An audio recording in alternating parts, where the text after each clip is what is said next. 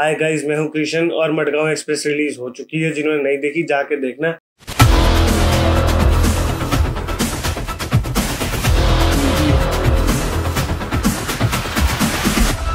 ये एक suspense comedy movie होने वाली है, जिसके अंदर तीन दोस्तों की कहानी दिखाई है, जो बचपन से ही गोवा जाना चाहते हैं और एक एज में आके वो गोवा जाते भी हैं, पर उससे पहले ही अपनी लाइफ का आधा पार्ट जी चुके हैं मतलब 25 28 साल के हो चुके हैं, जिसमें से दो दोस्त भाई फॉरन में शिफ्ट हो जाते हैं। एक इंडिया में रहता है, जो कि है दिवेंदु, और दिवेंदु भाई कुछ नहीं कर रहे, नकारा आवारा हो रखे हैं, ठीक है? बाकी एक दोस्त है जिसको ऐसी सेंसिटिविटी है कि किसी भी मिट्टी से, धूल से, हर एक चीज़ से जो है उनको सेंसेशन हो जाती है बॉडी में कोई ना कोई दिक्कत होने लग जाती है। एक और दोस्त है, उसकी लाइफ में अपने ही बहुत पंगे हैं।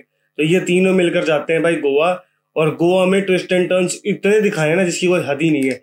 मतलब इसमें ड्रग से लेकर पुलिस का, गुंडों का हर एक तरीके का भाई कोई ना कोई पंगा डाल रखा है इसके अंदर। और ना भाई इसकी डायरेक्शन भी की है, कुणाल खेमू ने तो बड़ी सोच समझ के बड़े तरीके से करी है। इस साल की सबसे लाइट मूवी है, अभी तक की है। मतलब जैसे आपने वो देखी है, ज़िंदगी ना मिलेगी दोबारा। सेम वैसी सी मूवी है। बहुत बढ़िया है। मज़ा आ जाएगा देखकर। और भाई इसके अंदर नोहा और भाई इसके अंदर नोरा फतेही का जो रोल है, वो सिर्फ़ ग्लैमर ऐड करने का है। उस करेक्टर से कोई उम्मीद मत रखना, क्योंकि उसने कुछ नहीं किया। इसके अंदर भाई फ्रेश कंटेंट है पूरा का पूरा ओवरऑल ये, ठीक है? और सबसे फुद्दू चीज़ ये जब ये नोरा को इंट्रोड्यूस करते हैं ना भाई, उसके साथ आता है गाना। वो गाना क्यों है, मेरे को तो वही नहीं समझ में आया। मतलब उस गाने की कोई नीड नहीं है, कोई रिक्वायरमेंट नहीं थी पिक्चर में।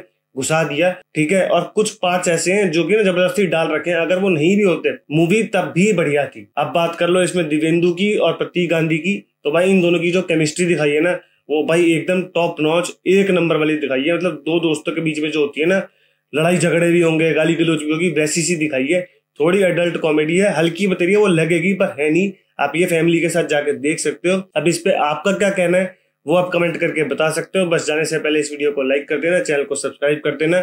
तो मिलते हैं अगली वीडियो में, तब तक के लिए अलविदा।